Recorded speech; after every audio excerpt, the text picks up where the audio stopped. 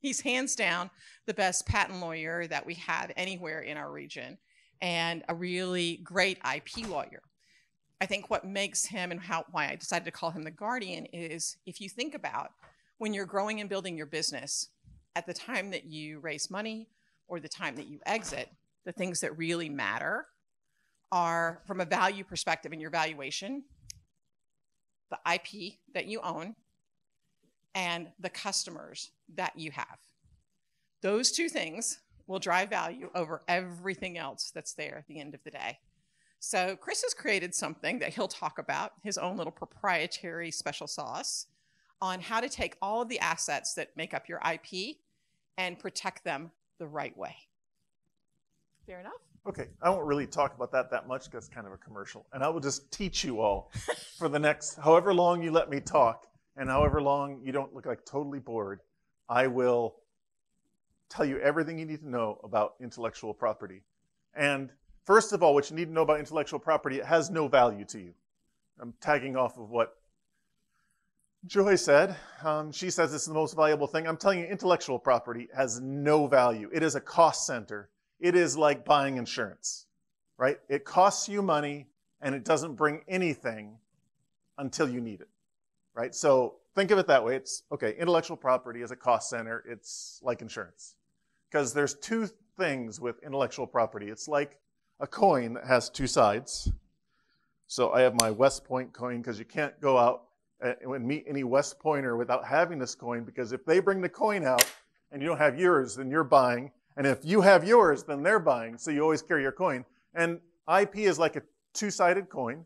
One side is entirely defensive. You don't want to get sued and spend hundreds of thousands or millions of dollars on litigation attorneys because you did something stupid, right? So we want to make sure you don't do something stupid. The other side is what Joy is talking about. Intellectual property can protect something. It can be the property insurance for your intangible property. So what is intangible property? That's what I'm going to tell you about today. So intangible property can be really anything that is proprietary to you. Proprietary means you own it. So anything that is not tangible that you own, and the value of that, 85% of companies that are going to IPO or listed on the IP 500, 87% of those are intangible property is what the, makes up the value of those companies. And a good portion of that is the brand for a lot of companies. It's the goodwill in the brand, I should say, because the brand is what customers see, but the goodwill in the brand is what customers remember, feel, and understand about your products, services, you, and any contact they've had with your company, your product, services, or your customer service. It's what they remember. That is your brand. You can try and shape that brand, but ultimately it's what your customers remember. So what you want to do is you want to protect that. You want to protect that from the get-go. And I'm not talking about coming up with a logo or coming up with a trademark because that has zero value, right? That is only there to protect the thing that is the goodwill in your brand. So, goodwill in the brand. Oh, that one's lousy. Much better. So, what is goodwill? The goodwill is what your customers, the feelings and the, and the admiration that your customers or potential customers have about you based on how you shape your brand and get them to remember your brand, your company's products, services, customer service, and your company's reputation in just in general. So companies like Coca-Cola spend a lot of mo money on advertising to get goodwill, right? They just advertise like crazy. They don't bottle Coca-Cola, right? They provide the secret sauce. They ship it out to a bottling plant. The bottling plant sends it to a distributor. The distributor sends it out to grocery stores. You pick it up in the grocery store because you like Coke better than Pepsi because they've got you, right? If you're like me, then you buy the cheapest one on the sh- shelf that's on sale, and you don't care about the brand because they all taste basically the same, and I'm only getting it for my kids anyway, and they never complain because they only get soda like uh, with Chinese on Sunday. And so they're thrilled to have it. So I don't care about the goodwill. I don't care about the advertising. I care that it's 65 cents on sale for two liters. Yes?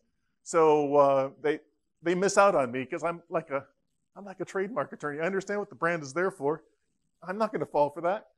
But if you're a Coke person, that's fine. You, you have goodwill for that particular company. If you're a Pepsi person, you have goodwill for that particular company. There's also flavor, and that's very subjective, but like you say, if you're buying it for somebody else, doesn't matter. Um, but your goodwill starts from the time that you start contacting anyone, not just customers, anyone. It's your reputation.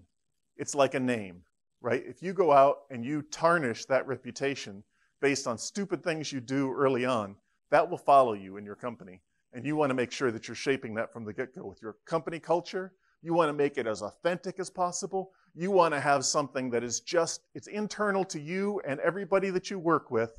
They feel the same way about your customers and, and the products and services that you're going to provide those customers as you do. And you build a culture around that. And that's the way to get goodwill without even advertising, right? You just give tremendous customer service. You go over and above promising this much, delivering that much, and your customers fall in love with your company and they tell other people, and those people tell other people, and they get more and more customers, and you develop your market share with a niche of customers that really care about whatever it is that you're providing them, and then you get acquired by somebody, and you can rest easy because they're going to throw you out in a couple years. Uh, you know, they're going to make vest you again or whatever, and give you a big golden handshake at the end as long as you don't quit. And you won't quit because you want the money, right? Because they're going to take the company and they're going to do whatever they want with it, probably ruin it. But you have done what an entrepreneur should do, right? You provided value to your customers and value to yourself. And there's four kinds of people, right? There's the kinds of people that fit in the box of bringing value to, to everybody else and to themselves. They're entrepreneurs. Then the, one, the ones that bring value to others, but they actually hurt themselves. Those are selfless people, great to have as friends wonderful because they will, they will take care of you even if you are a louse, right? Even if you hurt them, even if they get hurt in helping you, they're going to take care of you. Selfless people are great. And then you have the selfish people. Those are people that take care of themselves but are going to hurt you. Toxic. Keep away from them. Don't hire them. Not worth it. Even if they're the best in their field, don't hire them. And then you have the fools. Those are people that hurt themselves and others. And you just don't want to be associated with them at all because the companion of fools suffers harm.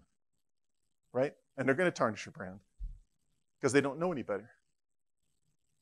All right, so goodwill, very important. How do you protect goodwill with intellectual property? I'm looking for the obvious question. It's not a trick question. The obvious question is trademarks. Trademarks. Everybody's heard about trademarks. There's federal trademarks, there's state trademarks, there's common law trademarks. There's trademarks coming out the kazoo in the United States, right? And, uh, and it's a wonderful thing. You can file for trademarks. It doesn't cost you very much money. You get your trademark certificate. Voila! Worth a lot of money, right? No, remember rule one is that intellectual property has no value. It's a cost center. It just costs you money. It costs you money to go out and get an attorney. It costs you money to get the trademark. It's going to cost you money to renew and maintain that trademark. It's going to cost you money to go sue people if they start infringing your trademark right? It costs you money, the trademark. So we're going to use TM, but we all know we want the Circle right? So what's the difference between TM and Circle R? Circle R is when you actually have it registered with the USPTO. The TM isn't until you have it registered, registered with the USPTO. Until you get that certificate, you can't use this. So you want the Circle R, of course. Because then, after five years, you can get exclusive rights to using that. Why did I say five years? Because then you get the incontestability statement that you file. And now your mark is incontestable, which means it can still be contested. But it can be only contested a little bit less. But anyway, five years later, you get incontestability, and now you're rolling because now everybody's starting to get to know your mark. You got traction in the marketplace. You got your money from the venture capitalists. You're rolling, right? You got a circle R for your trademark until you find out that ah, somebody else has been using that mark before me, and now I've got to change my entire branding because they just sent you a cease and desist letter after your mark was incontestable, but they used it first. Well, guess what? Their use of it first is going to trump your incontestability. Right? It doesn't matter how long you've had the trademark. If they were using it first, they still have a right to use it. If they were using it just common law, they have a right to use it wherever they were using it, how they were using it. So you have to do a search before you file your registration for a mark because they can come out of the woodwork after you get traction five years down the road and you have to rebrand everything. And it's so easy to do a search. This one I will give myself a plug because I have a 10 minute trademark search class that you can take, and it takes about 20 minutes to do a 10 minute trademark search class. But then when you take in the 20 minute trademark search class, you can do a trademark search in 10 minutes yourself, easy peasy, or someone that works with you, or one of your one of your co-founders, or your secretary, or whoever can go on, take that class, and figure out, ah, this is how you search a trademark. Let's go to the USPTO database, do a quick search, rule out all those that have at least been registered before or that they have applications pending, and you won't fall into that trap of having the circle R and finding out you have to rebrand your whole company. You don't want to do that. Worse, you don't want somebody suing you when you when you really don't have any money. You're you're like you got traction, you've thrown all of your capital into a product or service, and now people customers are coming to you and you really don't have enough money to fulfill all the demands for your product or service and you receive a cease and desist letter and the attorney tells you uh, i need a $50000 retainer and you're like $50000 was my budget for ordering more product and now I got to pay the attorney, right? Because otherwise, the judge is going to close me down and he's going to give judgment against me for a million dollars or something, and I'm going to be out of business. So $50,000 is going to the attorney rather than just doing a 10 minute trademark search to find out if you're clean and nobody else is using it. And what you want in a trademark, right? This trademark that is protecting your goodwill, what you want in a trademark is not the catchiest Vingly or whatever else you can come up with that's a catchy domain name slash trademark. No, it's something that is distinctive and unique to you. People will get used to it. They'll figure out how to spell it. I don't care what, what you come up with. If you provide good customer service, if you provide good products, the customers are going to figure out your brand associated with the product, develop goodwill, and it's going to be valuable. Right? The goodwill is going to be valuable, and the trademark is going to be very useful because it's distinctive. It's not like anybody else's. What do other people tell you? Well, some other people would tell you go search, find out something that's similar, and just tweak it a little bit and go out there and try and use that as your trademark because you're going to be able to run on their coattails or something. Don't do it. Um, don't do it at all. In fact, you should do competition research. From an IP attorney, you should do, sorry, you should do competition research to make sure that you're not like your competitors. There's something called, it's a trademark idea, there's something called trade dress. Trade dress could be the way that your restaurant looks. Trade dress is the look and feel of your packaging, of your product, or of your service. And that trade dress is just as, as important as your brand name or your logo or whatever else it is you think is your trademark. It's the thing that your customers are going to see and distinguish right off the bat when they see your product on the shelf or on the corner. And so that trade dress, unfortunately, most of you didn't even know trade dress probably. How many have heard of trade dress before? Yeah, okay. Six of you. Very good. So, um, but trade dress is more important than your trademark. The thing is, you can't register your trade dress until it becomes distinctive. It has to acquire distinctiveness. So, what do you want to do right off the bat with your trade dress?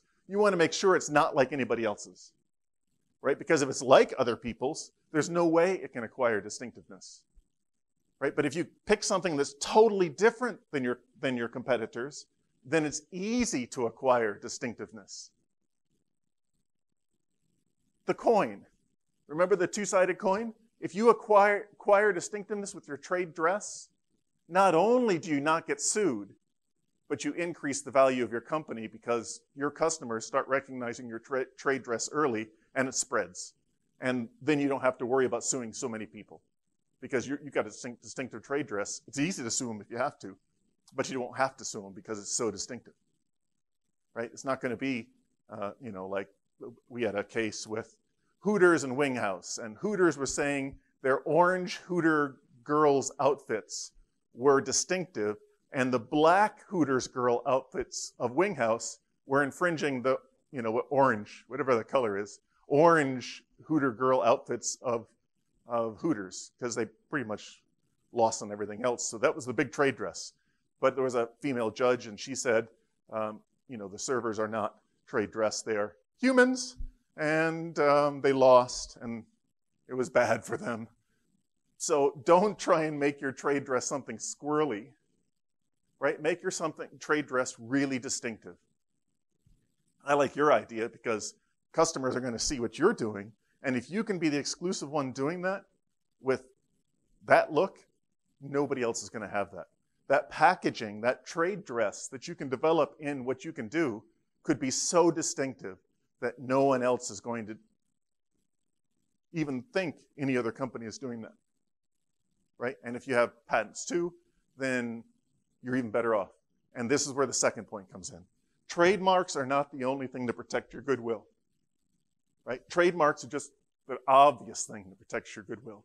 What's the next most obvious thing? Well, copyright is the next most thing, obvious thing, right? Now we're talking Circle C, right? Copyright protects your goodwill because if you can protect your ad copy and your images and all the things that are copyright protectable, right? Anything that is, has any genuine artistic value to it at all is automatically copyrighted. You don't have to do a thing to get a copyright in that other than fix it in a tangible medium of expression, which is lawyerese for it can be retrieved and seen again. And pretty much anything that you're doing can be retrieved and seen again, and therefore it's copyrighted already. Now, what can you do to build up a hedge of protection around the copyright and therefore your goodwill? Well, you can register your copyrights. Anything that has any value and that someone might steal and use, you should register. It's really easy for $87.50, you can register 10 unpublished works all at the same time, and they each get their own copyright registration. That's $8.75 per copyright registration, which is cheap insurance. Cheap insurance. Way cheap insurance. Copyright is a beautiful thing to protect your goodwill, right? And if someone's going to be trying to knock you off, there's a good chance they'll be stealing your pictures, your images, and your, your ad copy. So protect that protect everything in, under copyright that anybody has access to, and you'll be better off. And like I say, you can do it in bulk, right? And it's not hard. All right, so we got trademarks, we got copyrights. What else is there? Well, we're not going to talk about patents yet because there's something way bigger than patents, right? The biggest thing, the thing that most everything that has value to you is protected by is trade secrets, right? But it's more than trade secrets. It's anything confidential because trade secrets is, is defined in most states, and it's mostly state law, as anything that you have of value, any ideas, any procedures, anything really that you have of value that you take reasonable measures to protect from being publicly known. If you're smart, right, which most entrepreneurs, when they start out, aren't smart. But if you're smart, you go to a presentation, right? You're talking to a room like this, and you're not going to tell them how your technology works, right? You're going to tell them what the benefits are to your customers.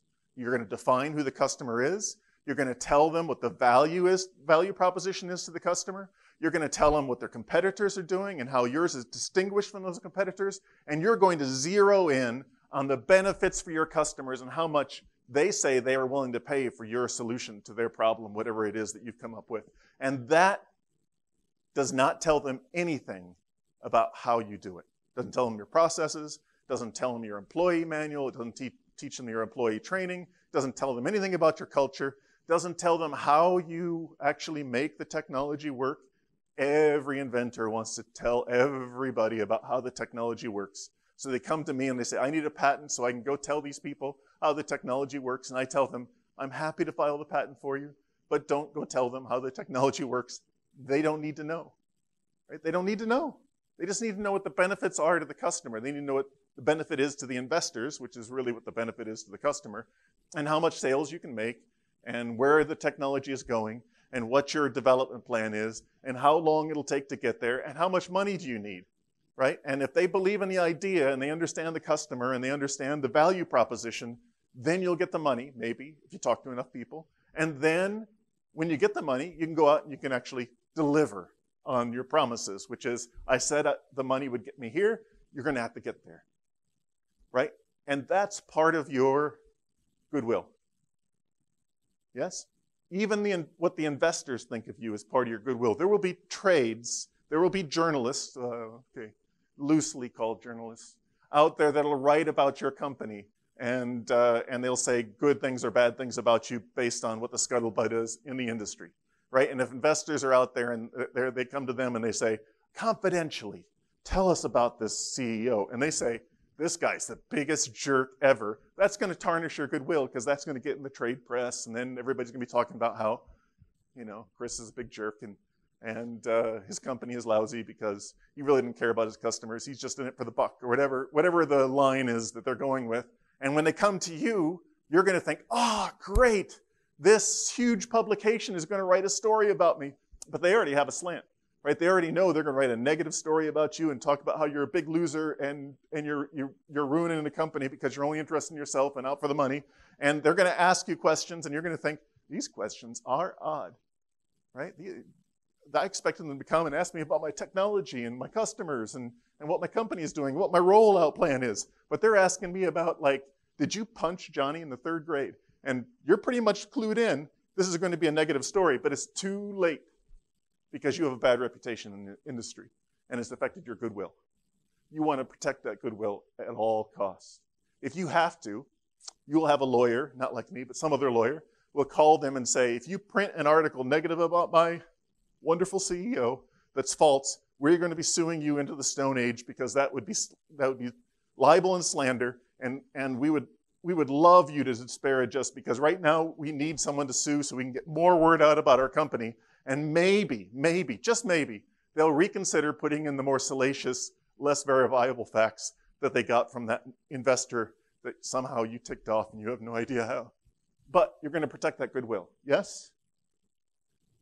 Okay, how else can we protect the goodwill? We now have trademarks, copyrights, we have trade secrets, but remember that could be anything confidential that you take reasonable measures to keep from becoming publicly known. Okay, we can finally talk about patents. Most of you won't need patents. You know, the kitchen counter thing, you need a patent or two, right? You have a patent or two? provisional patents. Okay, so you got patent applications that are pending. Someday down the road, a decade from now, they will issue, and uh, your investors are happy with that. And so you have what you need to protect you as far as patents go. I use Circle P for patents because I came up with that on my own, and I use that. So patents, Circle P. Um, this is how I make most of my money. I do patents. This is what I spend a lot of my time on teaching entrepreneurs. This I don't spend a lot of time on teaching entrepreneurs. You need patents, you need a patent attorney. You, if you need a patent, you need patents. If you need patents, you need a really good patent attorney. You don't need a mediocre patent. If you don't need patents, then you don't want to spend any money on patents. Because remember, intellectual property has no value to you. It's a cost center. Only if patents can protect this goodwill of yours that you're building up, the 87% value, you need patents? Or if you're in a highly technical area and you can't keep it a trade secret, and, and, and, and, and, then eventually you're going to need not one patent, not one patent application, but you're going to need issued patents down the road because people will knock you off and you'll have to sue them. And you're going to have to account for that. You're going to have to have a war chest and be ready to sue them when they start infringing your patents. But that is an expensive business. $2 million for the average patent lawsuit like six years ago. And it only goes up, right? Patent attorneys never reduce their fees, they just increase them. Um, so that value is, I don't know what it is now, but it's going up. So if you don't need that, avoid that like the plague. Now, why would you need it? you are, want investors and they demand that you have patents. Well, okay, then you need a patent, but you don't necessarily need the best patent attorney in the world because you don't even care if it issues. Once you have the patent filed and you have the money from the investor, woohoo, go out and blow a little money on a steak dinner and you have your application, you have your investor happy, and you go down the road and you worry about the things that matter, right? Because you got your money and you can get your business launched and you can get your product out the door and you can build goodwill. But many investors now don't want you wasting money on patents too.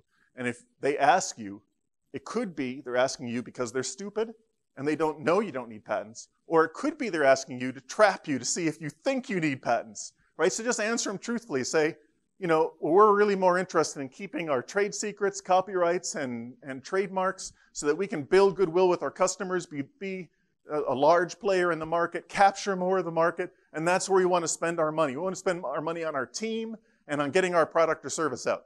And if they're the right investor for you, if they're smart money that you actually want investing in your company, they're going to nod their heads and say, well, this guy is a savvy entrepreneur. This woman is a savvy entrepreneur.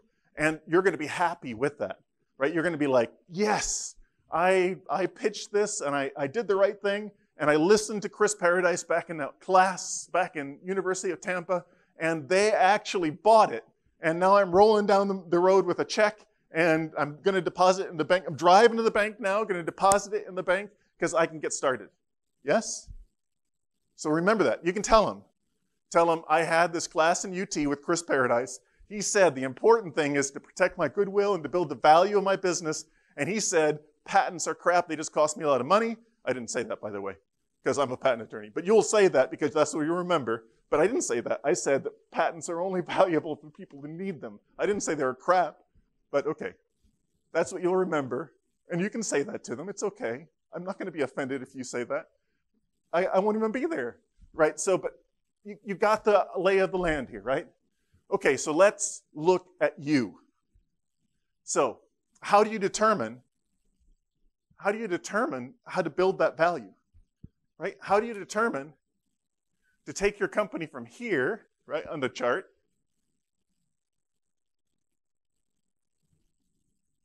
to there? Right? Everything, everything is exponential, right? And if you go into the future, you're not worried about the future, but if you go into the future, it actually goes like this, right? Apple is somewhere here, maybe now, who knows where. But they're, they're, they can't make you know, they can't, they sold everybody who wants an apple of anything, they've sold it to them, and they don't have another idea for coming up with another product because their founder is now gone. And they're somewhere here in the mature field, and they're just looking at, well, you know, can I bump up the value another 15, 20, 50%, whatever? But they're not talking about increasing value year over year by double, right? You're interested in this increasing the value of your company by double year after year, right? This is where you want to be. Nobody wants to be down here, though, right? Where, you know, you have to blow up the graph, right? I'm going to blow up the graph. I'm going to do away with the million dollar mark or the billion dollar mark, and I'm going to make it a $10,000 mark. And therefore, it looks exponential, right? It's exponential down there too. It's just nobody cares about that exponent, right? They don't care that you're going from 10,000 to 20,000 next year because, you know, their grandma could give you 20,000. They're interested in how you're going to get here. When you're talking about going from 1 million to 2 million or 2 million to 10 million or 10 million to 100 million or 100 million to a billion, right? They're worried about this, this fast growth part, especially if you're looking for money from like venture capitalists. They're looking for how can you increase your value by four, five, six, ten times the money I'm going to give you, right? Because they want to get that amount back because they're losing on like every other investment they made because they're listening to some people who they had successes sometime past in their past, but they're looking for their next success, and it's been a while. So you know they, they need that ten times because they have nine other investments that are going like this. Woo! Crash, right? And now they're in the red, right? And they're selling off assets. Patents are good for selling off assets, by the way. I've had companies that went belly up and they sold off their patents for seven, eight, figures, and their investors were happy because they got whopping big checks just for their patents. But that's because they had a technology that some huge multi-billion dollar company wanted to buy. Yes? They didn't want to buy the business. They just wanted to buy the patents because they needed more patents in their portfolio to fend off, you know, defense on the one side of the coin, fend off other people from suing them, and on the other side of the coin to be able to sue other people if they were infringing their technologies. And it just happened to be a nice patent portfolio sitting right out there in front of what everybody else was doing and where they were bound to go. And because if you get that patent portfolio, it's called a blocking patent. Nobody can get there unless they pay a toll. Right? That's a beautiful patent portfolio. I've had maybe three in my two decades plus of blocking patent portfolios. Spent $25,000 before we filed the first patent on one of them, just doing the patent research to find out where people were going in the future, so that they could then do the research that would get the blocking patents, so that they would have an asset that was valuable that they could license and sell to a multi-billion dollar company. Right? So if you're doing that, get the best patent attorney you can. Get someone who's going to spend time and give them 25000 uh, it's probably $50,000 now. Give them $50,000 out of your budget and say, tell me everything anybody's doing in this field. And tell me who the big players are that I'm going to have to negotiate with down the road. And tell me where they're going. And if you can tell me all that, you know, you're, you're worth more than $50,000. Right? Maybe you can find a younger patent attorney, his billing rate hasn't gone up to $900, that would do it for less than $50,000. But you don't really want to find one that's not good. Because he'll give you an answer, but it's not going to be the answer that makes you any money down the road. And it's a business. I mean, there are people that are just in the business of coming up with blocking patents. That's what they do. You know, they hang around large universities and they come up with ideas and then they try and find out the ideas that actually have value and then they buy up the, the patents or they, they start writing patents and try and block the industry from going that direction because they know the industry has to go that direction. I could write a patent on how to come up with blocking patents, but then it wouldn't be any fun, right? So let's talk about you. Where are you in here, and where are you in here? Um, I just put goodwill as one of the things that is intangible property. There are lots of things that are intangible property. Intangible property can be an agreement you have with the supplier, an exclusive agreement that you have with the supplier and that is really the only cost-effective supplier to use for your kind of technology. And you have an ironclad agreement that they will not sell to anybody in your jurisdiction, whatever that jurisdiction is, worldwide, North America, Indiana, wherever. You've got an ironclad, and that has value. And that is intangible property, right? Because agreements we know are physically tangible, but the things that they protect are intangible. So anything intangible that you can own is intangible property. It could be the knowledge that your employees have. And then what would you want to do if you have knowledge that your employees have? How would you like to protect that?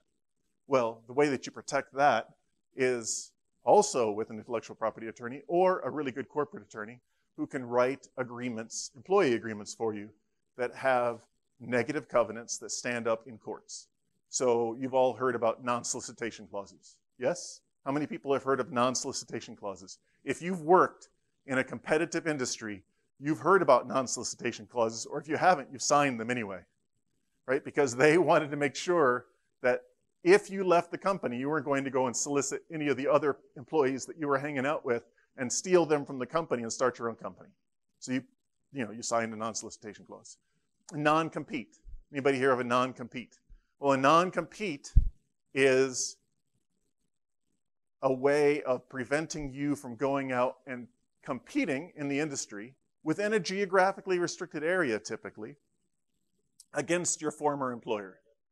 Or not going out and competing against your former employer by contacting the former employees, employers, customers, right? So a non-solicitation is don't contact our employees. A non-compete could be don't contact our customers. And that would be if you have access to the customer list and you know who their customers are and you've been, you've been selling or, or servicing the customer in some way and, and they want to make sure that you're not going to go out and steal the customers from them and cause their market share to drop, right? So the non-competition agreement. Um, those two, non-solicitation is usually enforceable in most states. Non-competition agreements are only enforceable in some states. And they're only enforceable if you really restrict them down to something that's reasonable. right? So if you say you can't contact our customers for a period of 18 months, most states will say, oh, that's okay if you've been employing that person for two, three, four, five years. They're highly compensated and they've had direct contact with the customers, right? Because you, you're paying them enough that, that that actually is enforceable against them.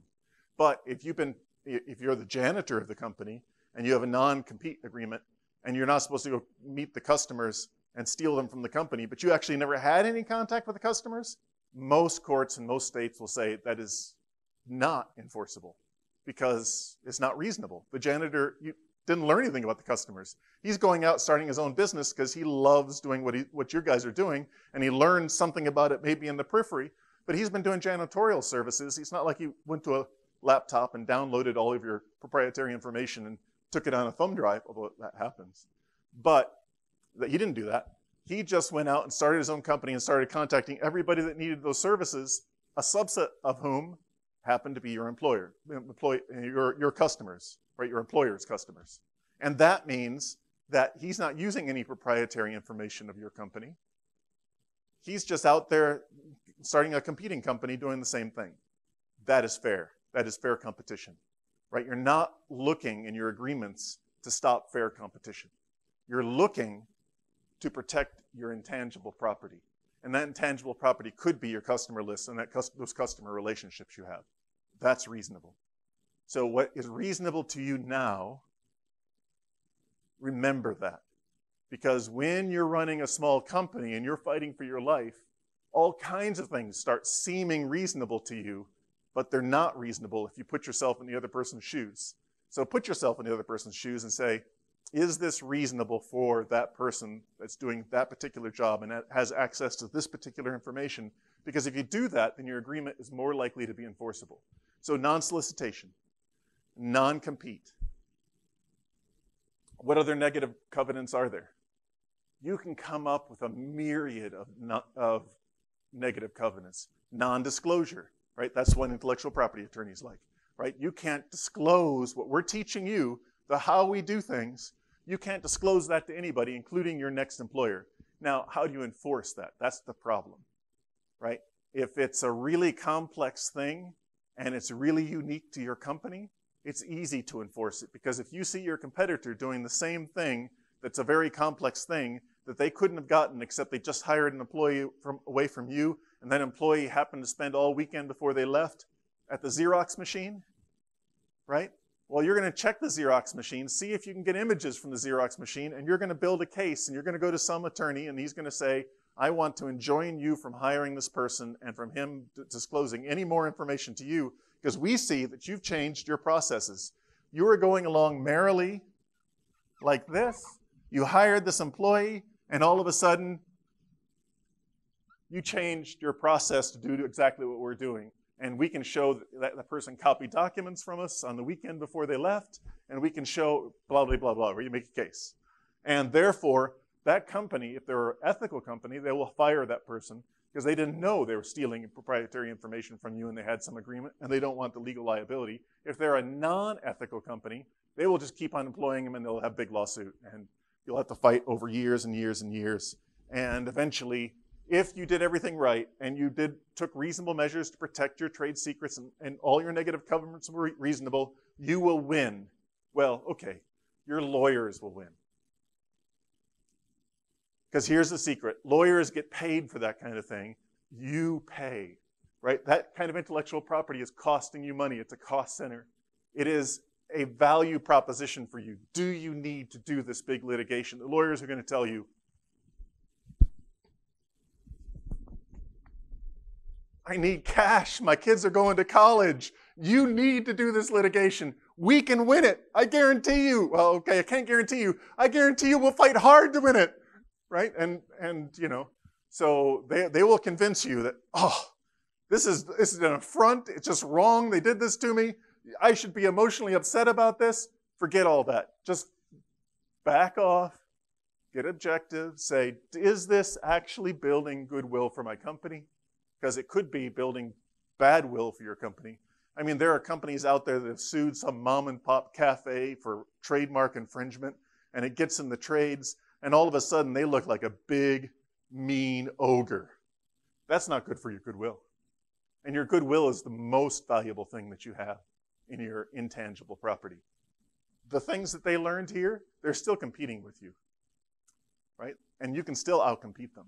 You can outperform them, right? You can, you can come up with new things. You could be innovative, right? Innovation is a great thing. You can change your process so it even gets better. It may spur you to go out and do twice as good as you have been doing. And that company that stole those things,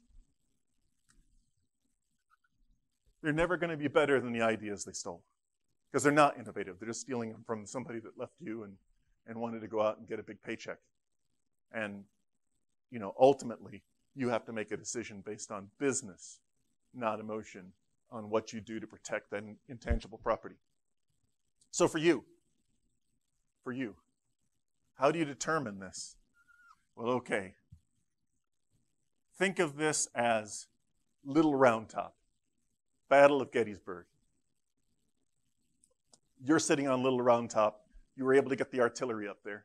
You can see the entire battlefield in front of you. You know from where you're standing that this terrain is the key terrain of the entire battle and, and we study this at West Point, right? If, if, the, if the, you know, Abraham Lincoln's troops didn't occupy Little Round Top and hold Little Round Top during the Battle of Gettysburg, the entire Civil War could have been changed, right? We in the South, you know, we could we could have the capital in like Virginia somewhere, and uh, everybody would have to talk with a Southern accent, and you know, it would, it would be totally different if the South had managed to gain control of Little Round Top. Little Round Top. What is it that you have that is your Little Round Top? What is your most important intangible property? The intangible property that gives you a competitive edge against all of your competitors. The thing that you, when you talk to investors and you finally come out with that one and say, oh yeah, by the way, we do this. And they go, you do this? And they go, yeah, we do this. And they say, I've never seen anybody do this. You should get clued in. That's your little round top.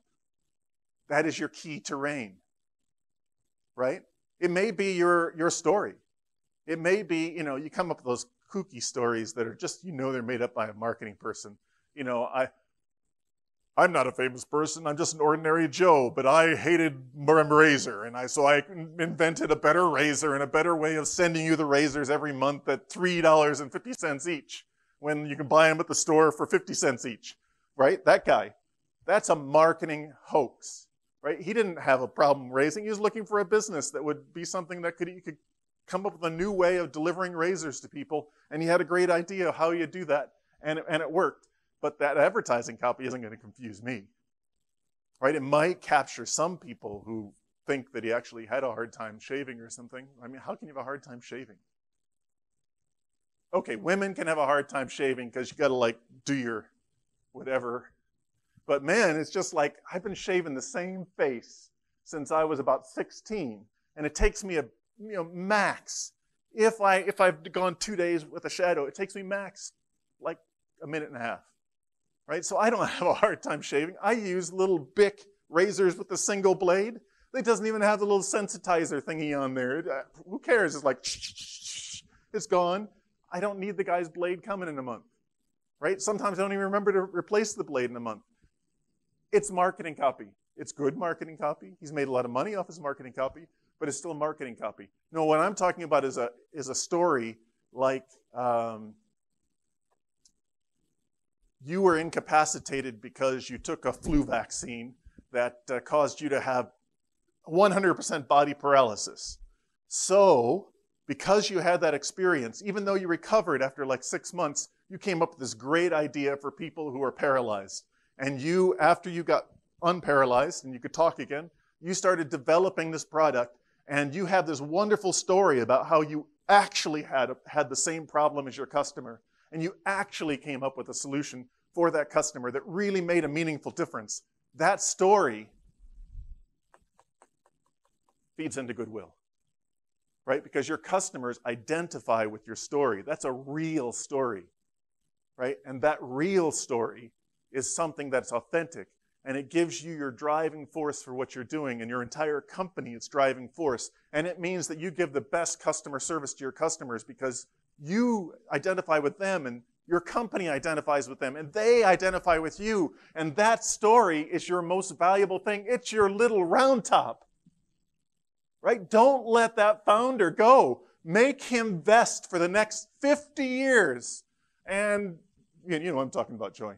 Make him vest over a period of a gazillion years and make sure he can never leave the company with a dime unless he, you know, unless he gives you the naming rights and the story rights and agrees never to disparage you, even if you're a lousy company after he leaves, which you probably will be. But he can never say a thing without getting sued for like 10 gazillion dollars. And gazillion's a lot, right? So, uh, but that's what you need. You need that agreement. If you're going to buy that company as a, as a, you know, as a hedge fund or something, you want to make sure that that founder is tied up three ways from Friday in never saying anything bad about the company because you're going to use you're going to you're going to ride that story until you split the company up for its assets and and uh, you know load it with debt and kill it right? Until it's a dead horse on the ground you're going to ride that story because that is the little round top for the company. So what is your little round top? Because once you determine what your little round top is, it's super easy. Super easy to figure out what kind of IP I have to pay for. Right? You can go to your patent attorney and you can say, hey, patent attorney, I don't need any patents today. He's going to say, well, why are you coming to me? He's going to say, well, because you're an intellectual property attorney too, right? And he's going to nod and say yes. And you're going to say, well, I got this great story and I need to make sure that I protect the great story when I'm developing it. Because once I get traction in the company, I want to make sure I have all the agreements in place that I need. I want to make sure that I have the trademarks that I need, that my branding is clear, that my copy is good. No one can steal the copy. I want to make sure that the trade secrets that I have, that they are being protected the right way. So I'm going to pay you a couple thousand dollars a month just to take a look to see if we're doing our agreements right and our, if, we're, if we're using the right practices in the company to keep things reasonably protected in our industry. And they're, they're going to be thrilled to do that right? They're going to be thrilled to do that because they're actually adding value to your company then. They're not just a cost center. They're protecting something really valuable. You know what most entrepreneurs come to me for? Well, okay, not most entrepreneurs, most inventors come to me and they say, I need a patent. Which starts the discussion. It's good. You, know, you don't have to feel bad about coming to a patent attorney and asking, saying, I need a patent. And then I'm going to talk to them about all these things. I'm going to go through everything that we just went through, but I'm going to do it like in 10 minutes. And their eyes are going to glass over just in 10 minutes. And they're going to say, I just came here for a patent. And I'm going to say, well, you know, you don't have anything patentable. I'm sorry. I've, I've given you the 10 minute thing. There's other things you can do, but you don't have anything patentable because right now, that is not patent eligible subject matter. Right? Because right now, the patent system is on its head. The Supreme Court a few years ago had a decision where they decided that not everything under the sun is patentable like it used to be back in the old days. State Street Bank hasn't been overturned, but yet State Street Bank, the invention that they had that opened software to patenting, they couldn't have gotten their patent anymore under the new Alice framework. So there's all kinds of things that change in patent law all the time, and most inventors are coming to me think, for things that aren't patentable. And they don't care a hoot about all these other things, and they don't even know what their little round top is. They're coming to me for a patent because someone told them, hey man, that's a great idea. You need a patent on that. And that someone was probably 10 years out of date. They probably read some book somewhere or some magazine that said patents were everything, and they don't know that patent eligible, eligible subject matter is only this and they're over here right? Or maybe I can't tell them whether it's patent eligible subject matter. I can just say, I have no clue if that's going to be patent eligible subject matter, and then I'm going to explain the whole patent eligible subject matter thing. But you know, I'll file a patent for you because maybe the Supreme Court will change its mind, and we'll just keep it going as long as we can. I have some patents that have been going literally more more than six years. So it's been more than six years since they made the decision. So more than six years, that patent has been pending, and we just keep it going, right? Because you can file continuation after continuation after continuation, try and keep the costs down. You know, don't don't spend a lot of time coming up with new arguments because you only come up with new arguments when the law changes. Law changes like once a year or so. When the Supreme Court comes out with its new decisions in June uh, for things that are thorny like this, um, it may change, right? And so when you get close to June, like right, right about this time of year, and we have a patent that needs something done, and it's in this category of, mm, I don't know if it's going to ever be patentable. Well, we're going to say, but stick with me because there's another decision coming out probably in June. And we may find a, a way of arguing this patent falls in that category that they just decided. And maybe it's not the Supreme Court. Maybe it's the Court of Appeals for the Federal Circuit, which is the patent court. So I watch those. I watch the courts so you don't have to, right? That's my job. I'm supposed to know what the patentee guys are thinking, and you don't have to worry about that. All you have to do is come to a patent attorney and say, I need a patent, and we're going to have this whole story. And then we're going to try and figure out what your little round top is. And then we're going to figure out how to quickly protect it at very low cost. So how do you quickly protect little round top at very low cost? Well, today, you got something called concertina wire. Concertina wire comes in rolls, bales, you know, big rolls. You hold one end, I take the other. I run with the concertina wire around the perimeter. And it's razor wire. So, you know, anybody coming in the perimeter is going to get their uniform snagged on there. And if they pull, they're going to get their flesh torn and, and it, you're going to make noise because you hang cans on there. And so you know they're coming for little round top, right? Because you put that concertina wire around little round top. Well, what, what is your razor wire? It's going to be different for every entrepreneur out there. It might be your copyrights. If it's your story that's giving you goodwill, it's certainly your copyrights. You want to make sure you have registered copyrights and everything about that story.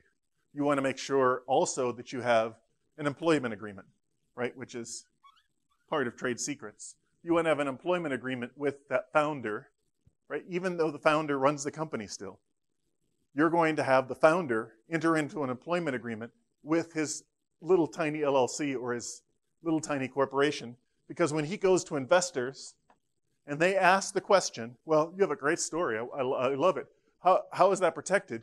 You can say, I have assigned all of my name rights, the whole story, everything to my little tiny LLC or my little tiny corporation. And if I walk away tomorrow, I can't talk badly about the company. They go on their merry way, riding that horse until they're a billion dollar company, and I get only paid the compensation that we agreed to in this agreement. Here's the agreement. You can take a look at it. I've had attorneys look at it. It's a good agreement. It's enforceable in 49 out of the 50 states, and I'm not going to Alaska anytime soon. Right? So the investors go, okay, you answered that question. You removed one objection. And you're as an entrepreneur, your job, early stage, is to remove the objections of the people that you need to join you in growing that company to here. Right? That's your job. Your job is to remove the, that, that means co founders, it means investors, it means angels, it means I separate angels from investors because, other than joy, a lot of angels really aren't investors. They're gamblers. They, they like you, they like your idea. They're putting money in. They think they're going to get a pay, big payday at the end.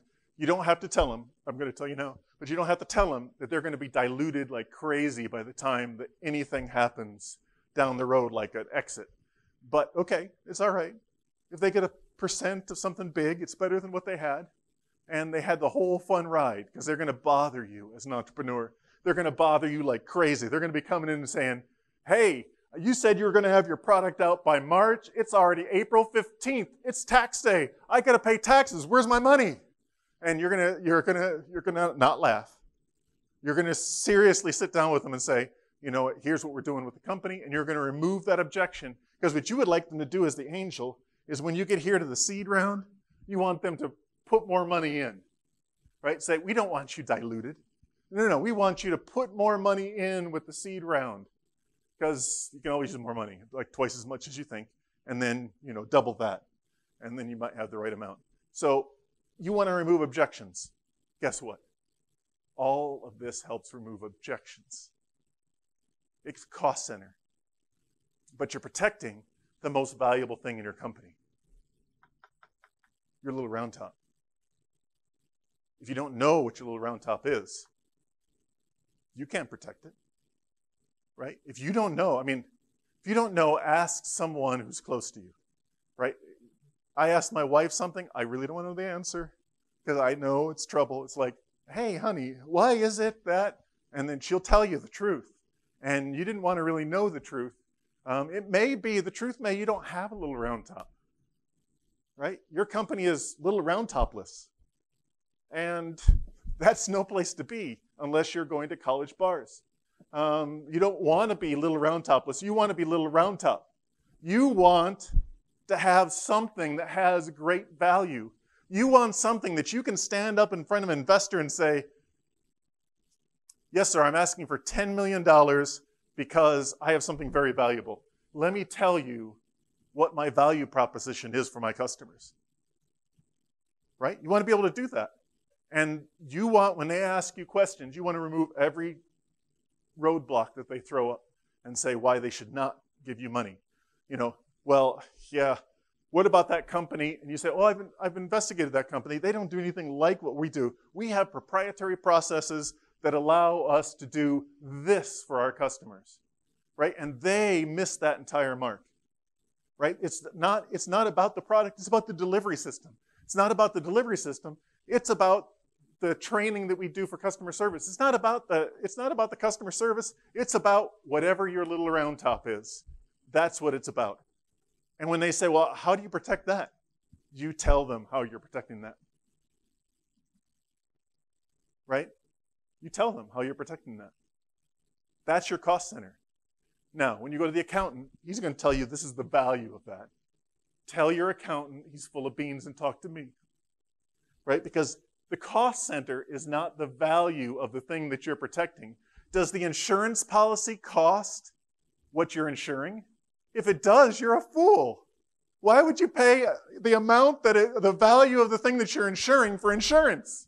The insurance company's making out like a bandit. They'll charge you that every year. No, this is insurance. It costs, it costs a fraction of what you're protecting. The thing that you're protecting is extremely valuable. It's your future, it's your employees' future, it's your customers' future. You're changing lives with what you're protecting. It has value. You need to set a number on that value. Right? And the way that you set a number on that value, how many customers can you get? Right? How many customers can you get with that value? What is that goodwill going to do for you, or whatever your intangible property is? How does little round, round top, owning little round top, protect you from all your competitors and allow you to have your market share with your customers, the ones that really love your product or service? Right? If you can answer that question, many people will invest in you. If you can't answer that question, some people will invest in you but you'll have trouble. Right? You'll have trouble because you can't answer the question of what is really valuable to your company. And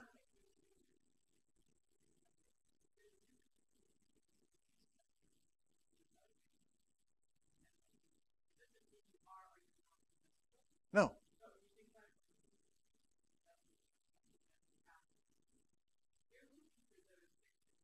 Investors will invest in anything if you have a good team.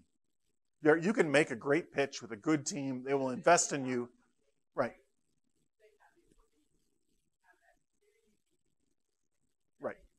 And then you can get here. Right? A lot of companies get here, right? And they stay there because they really don't know what their value is. They never figured it out.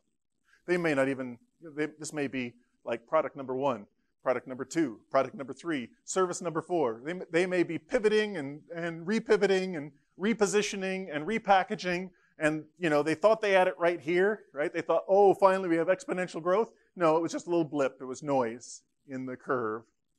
It wasn't exponential growth. Exponential growth, it doesn't matter where you look on the curve, it's the same shape. Right? If you're down here, it's exponential growth. If you're here, it's exponential growth. If you're here, it's exponential growth. But what you want to do is you want to have this be like your, you know, or this be your $10 million and this be your $100 million point and $100 million company going to whatever is your cap, right? And you can tell them, you know, how many customers you have and how much each customer is going to pay. And you can tell them what your cap is, right? When you're saturated, like Apple. Well, I don't know if Apple's saturated. They'll come up with something new. But, you know. Yeah, they don't have to work too hard. They're making money for their investors. Questions? You can ask me like simple questions. It doesn't have to be lofty. What is my, you know, what is my little round top? You can ask me, what is a trademark? I don't care. It's, it's fine.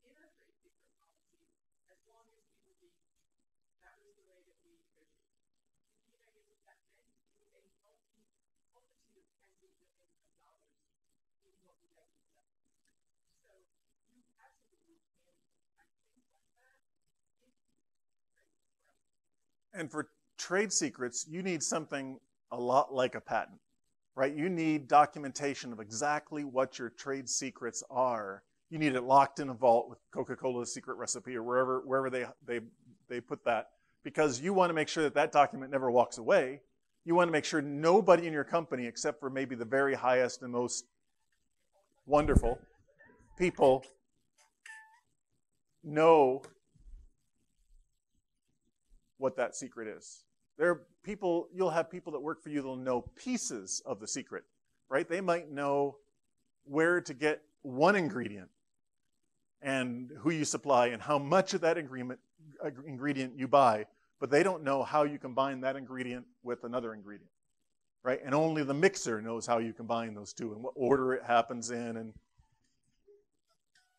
it's a school thing.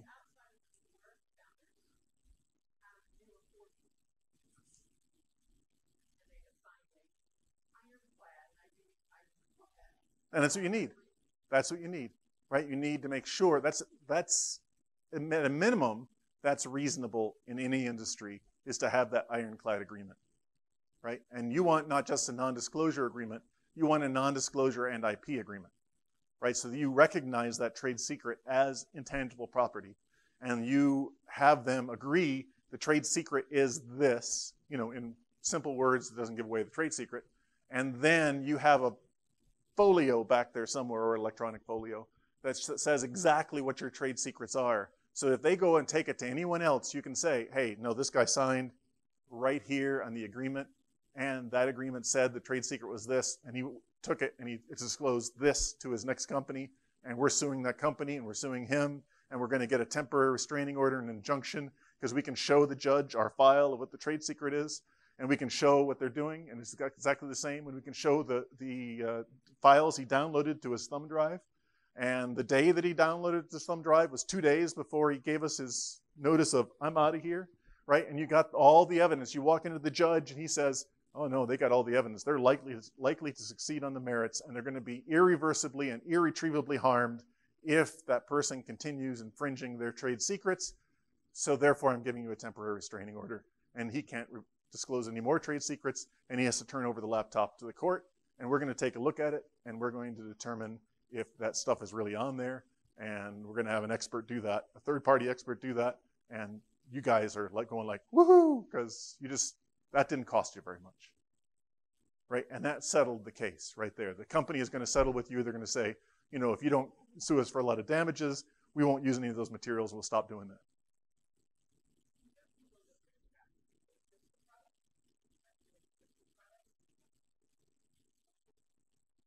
And this doesn't matter. I mean, this works regardless.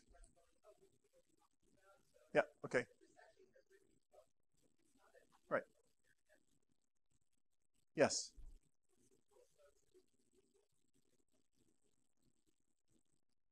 Yes. Don't protect your logo because the logo will change within a year or two. Somebody professional will come in and come up with a new logo. But protect your brand name. I mean, do the search first, of course. I just spent how much time telling you to do your search so you don't get sued and, and you make something that is actually protectable? Right. And so, and then just take the, do the 10 minute search and make sure you're not infringing somebody else's trademark before you go out and register your own. But yes, absolutely, register it. It's cheap, also cheap insurance. Like do it yourself, it's $345. Yes. Hmm, good question. So common law comes into existence by use. Not your use, but your use that causes consumers to recognize it as a trademark, a common law trademark. They start acquiring a secondary meaning for your brand name or your logo or your trade dress. And over time, that common law right consumers start recognizing a product or service is coming from you based on that.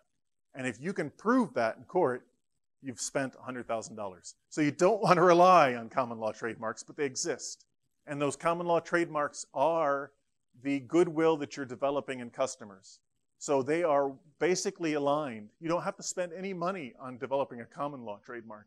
And your first use means that you will be able to use it in the future too. The problem with that is if you don't register your mark, then you can only use the common law mark where you've been using it and how you've been using it. You can't use it nationwide. And so if you're looking to grow a company and you started, you know, rolling it out in regions, like you decided I'm going to do Tampa, I'm going to start a restaurant in Tampa, and you come up with a great brand and great trade dress for your restaurant, your customers love it, and you start catching on, you say, okay, now we're going to go out, we're going to we're going to start doing franchises of the restaurant. Well, you put the cart before the horse because you can't do a franchise unless you own the trademarks. You don't own the trademarks, they're just common law marks. You can't prevent anybody else from using the trademark in, in, in another state. Just go out and start their own restaurant in Iowa, right? You don't, you can't franchise somebody in Iowa if you don't own the mark in Iowa. But you can register your mark in Iowa, in, in USPTO, and then you have exclusive use of that mark in all 50 states. And you can do a Madrid Protocol application. You can have exclusive use of that mark everywhere in the world, practically. Anywhere that you're concerned about, yes. It's the same. You have a name for your app, right? A, there's a brand to it. You want to protect your brand eventually. You can start with a common law protection of the brand. You don't need to rush out to the trademark office. If you're going to be changing the name and it goes from Vingley to Twingley or something, you don't want to be spending money on trademarks haphazardly. But eventually, sometime down the road, when your app gets ready to actually launch and you're not in like super alpha with your little team of people who are users, your, you know, um, what did the one company call them? Oh, the divas. Uh, OttLite, they make lamps for um, crafters. It's like true sunlight, so they can see the actual colors. Plus, it helps their eyes actually see because a lot of crafters are older, um, which I can relate to.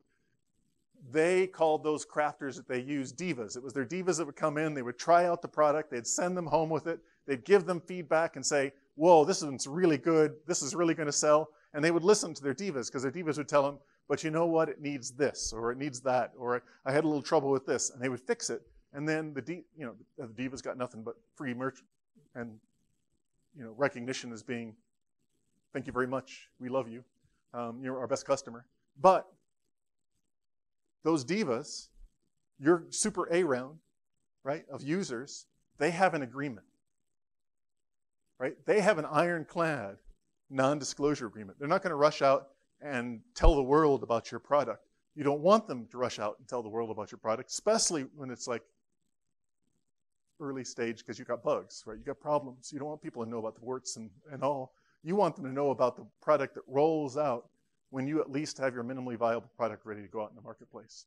So you have an ironclad agreement with those people that are trying out your software and giving you bug fixes.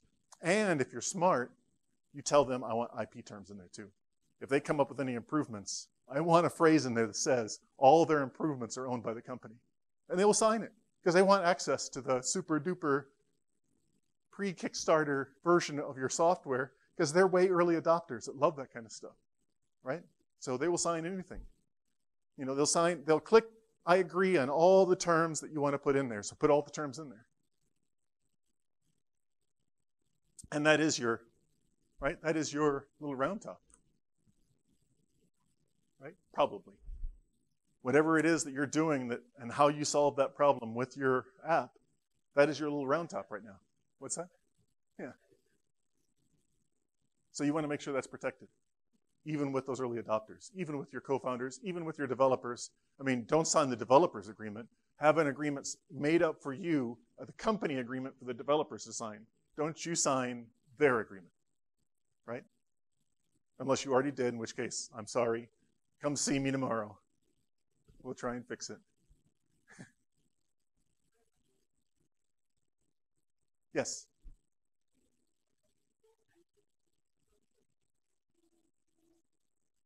Oh, get somebody that's really good. You need every company needs a relationship person, right? Somebody that's a lover. They just love chatting with people and do a really good job of empathetically finding out about people. And if that's not you, make sure you bring that person into your company when you're hiring that can just really, when, when they come to you, I, I've always had that. I don't necessarily pick the right person, but I've always had people I could go to that said, What did you think about them? And they would say, Oh, I, that person's going to be trouble, or they had they said this, or you know, because it was like a secretary or something that met with them, and or the paralegal met with them. You have you have all these people meet with them, and they don't think those people are important at all, so they kind of tell them the truth.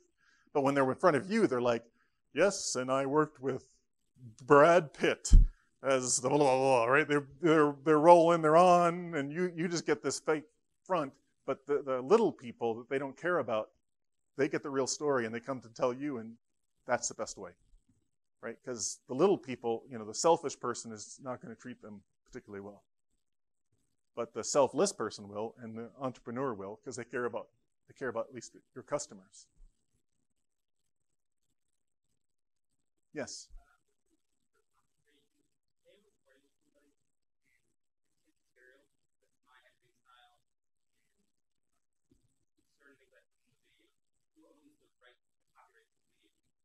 Very good question.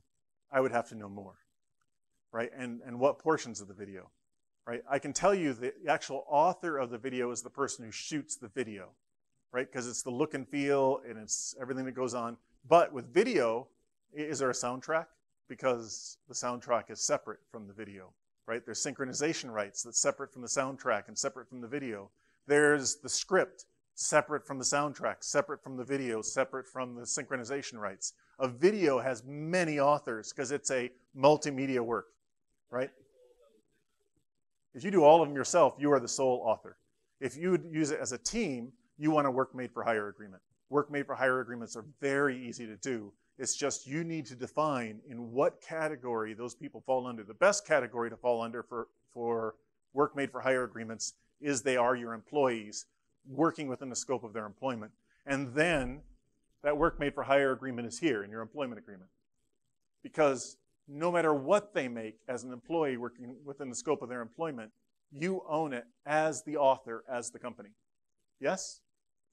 If they are a contractor, you do not own everything that they make.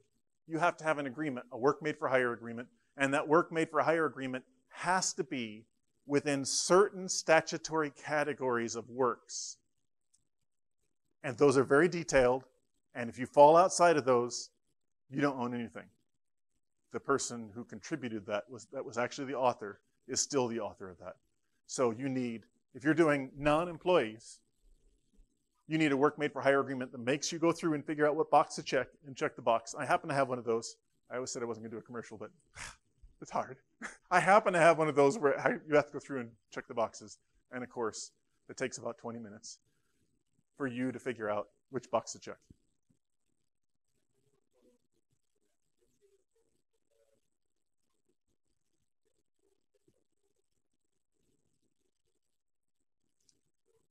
You should have a work made for hire agreement, and they should sign it.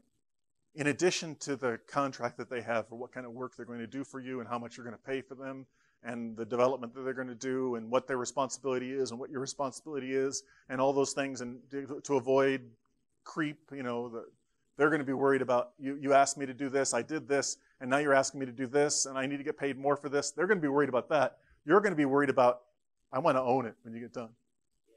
Right? I don't want to I don't want to have to re, rebrand and do my entire marketing over if I decide to fire you as my marketing company and hire marketing company B because they're better and bigger and now I've grown and I don't need them anymore. Right? You want to own it. And they should be fine with that because marketing companies come up with brand new stuff for you. You're not asking them for their, you know, to, to sign over their proprietary processes. You're just asking them to sign over any copyright rights and trade secret rights and whatever other rights in the things that they're delivering you. Right. The content is yours because they're creating it for you, custom made.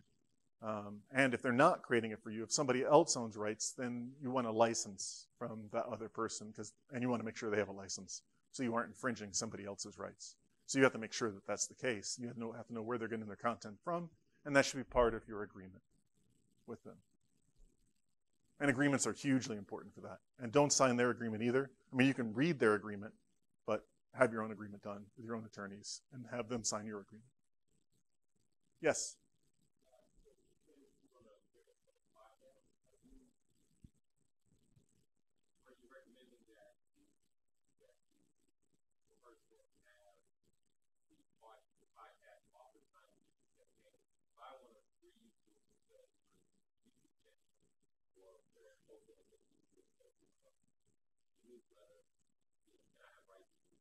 Typically podcasting can be a very informal relationship. So, this school is not going to give me a break. Eventually, they'll figure out my wife will pick up and I won't. Um, but podcasting is an informal agreement. You don't need a formal agreement. If you have emails going back and forth that document that you can use it for that purpose, keep those emails as in the ordinary course of business, and you will be good to go. Right? So basically, if they say, yeah, you can post a link to wherever you want, first of all, that's not copyright infringement, posting a link. Second of all, if you want to actually embed it in your website and they've given you an email that says, yeah, go ahead and embed it in your website, you've just gotten permission. You got a license from them to embed it in your website. Chances are that podcast is not going to be around 20 years from now, and if it is, you're very embarrassed about it. So just treat it as an, as an informal agreement.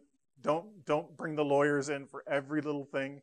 The podcaster isn't interested in stealing your company secrets. Don't tell them your, co- your company secrets. He has no need to know, or she has no need to know what your company secrets are. You're there to get goodwill, right? So just be friendly, nice. Podcasters are people too, right? Just treat them like people. Yes.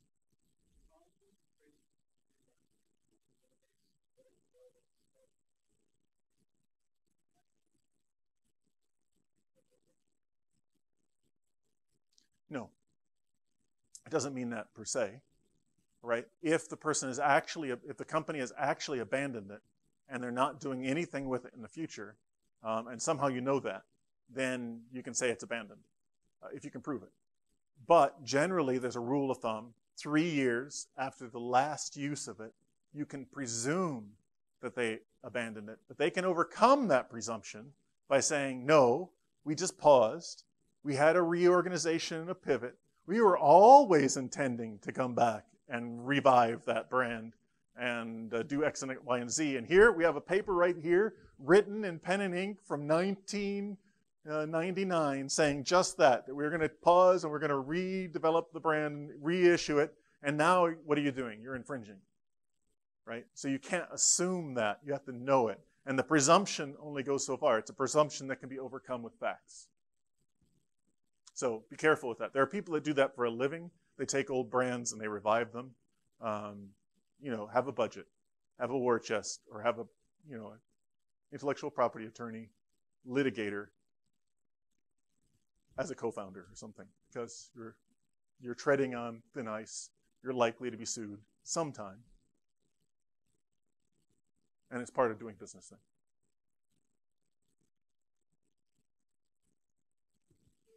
You look like you had a question. Yes. Okay. No, just ask them. Uh, the questions in your head never get answered. The questions in your head might get answered, right? okay. My pleasure.